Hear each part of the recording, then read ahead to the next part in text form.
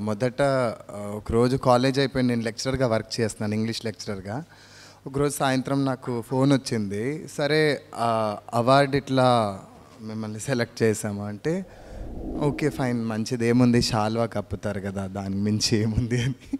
అంటే ఎందుకు చెప్తున్నానంటే బల్దేర్ బండి వేసేటప్పటికి నేను టూ థౌజండ్ ఎయిటీన్లో అంటే అపర్ణ తోట వేరే వేరే ఫ్రెండ్స్ అంతా కూడా కొంత కొంత డబ్బులు పెట్టుకొని ఇచ్చేశారు. పుస్తకం రావడం అనేది నిజంగా అంటే తెలుగు రచయితల్లో వీరభద్రుడి గారికి బాగా తెలుసు. తెలుగు రచయితల పరిస్థితి ఏంటనేది.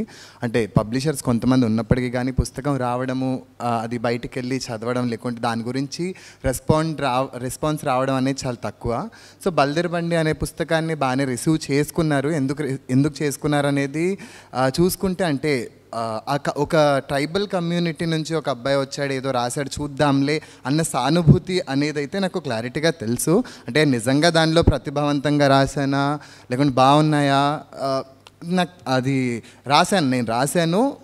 ఆ- సానుభూతి వల్ల అయితే అది ఇది చేశారు. తర్వాత ఢావ్లో పుస్తకం వచ్చాకంటే వీరభద్రుడు గారు అన్నట్టు నేను ఈ ఎస్టరిన్ కైర్ కానీ మమంగ్ దాయ్ తెంసులావో గోపీనాథ్ మహంతి కానీ కొంతమంది ట్రైబల్ రైటర్స్ రీజనల్గా ఉన్న ఇంగ్లీష్లో రాస్తున్న హన్స్డా కానీ సో వీళ్ళందరివి చదువుతున్న క్రమంలో తెలుగులో అన్వేషణ అన్వేషించడం మొదలు పెడితే సమ్మెట ఉమాదేవి అనే ఆవిడ రాసినట్టు అంటే ఆవిడ రాసినట్టు మాత్రమే నాకు తెలిసింది. ఆయన దానికంటే ముందు చింత దీక్షితులు ఆయన కంటే ముందు కూడా ఇంకెవరో రాశారని చెప్పారు. ఏకే ప్రభాకర్ గారు నాతో అన్నారు.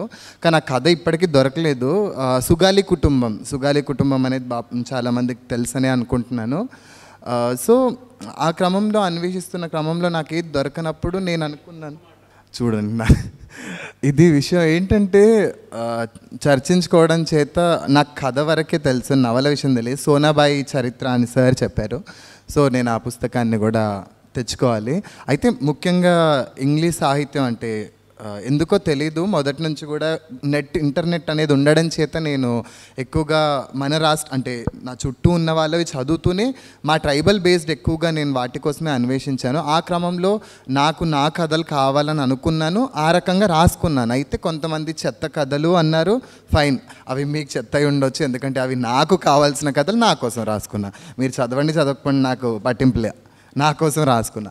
సో రాసుకున్న క్రమంలో మళ్ళీ బుక్ వేయాలా మళ్ళీ దీనికోసం ఇంత తిరగాల ఇది చేయాలా అనుకున్న టైంలో అపర్ణ వెంకట్ గారితో మాట్లాడి మొత్తానికి వాళ్ళు యాక్సెప్ట్ చేశారు. ఆయన పుస్తకం వచ్చింది వేసినందుకు వాళ్ళకి ధన్యవాదాలు. మహి గారిని మాటమాటికి ఫోన్ చేసి ఫూట్ నోట్స్ వల్ల అయితే చాలా టార్చర్ చేశాను ఫూట్ నోట్స్ కానీ డిజైనింగ్. సో పుస్తకం వేసినందుకు వాళ్ళకి ధన్యవాదాలు. అండ్ తర్వాత తర్వాత కూడా ఏమైనా రాసిన భావన బాగాలేకపోయినా వేస్తారని ఇక్కడ కండిషన్ చేస్తున్నాను. అండ్ నన్ను ఎంపిక చేసిన ఉదయని సంస్థ వారికి కుమార్ కూనప్రాజ్ గారికి అండ్ నా పుస్తకం గురించి నిజానికి చినవీర భద్రుడు గారిని కూడా టార్చర్ చేశాను. ఆయనకు అది గుర్తుకులేదు. నేను ఇప్పుడు చెప్తుంటే అవునా అని అంటున్నారు. ఈ పుస్తకం వచ్చిన తొలి రోజుల్లో ముందు మాట కోసం ఇది చేస్తుంటే అపర్ణ తోట లేదు వీరభద్రుడు గారి రాయాలి అని అంటే అప్పటికి అపర్ణ గారి తల్లి గారికి బాగాలేదు. అండ్ సార్ కూడా చాలా బిజీగా ఉన్నారు. ఇక్కడ లేరు అప్పుడు ఆయన. విజయవాడలో ఉంటున్నట్టున్నారు. సో నాలుగైదు సార్లు ఫోన్ చేశాను. సరే పంపించమంటే ఈమెయిల్ చేశాను. అది ఇది. సో మొత్తానికి ఆ రకంగా ఆ ముందు మాట ఇక్కడ మాట్లాడేశారు ఆయన. నాకు సంతోషం. అండ్ మెర్సి గారు కూడా మాట్లాడారు. చాలా సంతోషంగా ఉంది. అండ్ రచయితలకి ఇదొక లాంటి గుర్తింపు. అండ్ ఈ పుస్తకం ముఖ్యంగా మా బంజారాలకు సంబంధించి చాలామంది ఇంకొకటి బంజారాలకు ఏమైంది? బంజారాల్లో చాలా పొజిషన్స్లో ఉన్నారు. వాళ్ళ సాహిత్యం కూడా అవసరం లేదన్న వాళ్ళు ఉన్నారు. అంటే గోండు కోయ నాయకుడు మొత్తం తెలుగు రాష్ట్రాల్లో మొత్తం అంటే నా నాకు తెలిసినంత వరకు ముప్పై మూడు తెగలుంటే ఇప్పుడు రీసెంట్గా ఇంకో రెండు తెగల్ని జోడించారని తెలిసింది. అయితే తెలంగాణలో పదమూడు తెగలు ఉన్నాయి పదమూడులో బంజారా తెగ ఒకటి.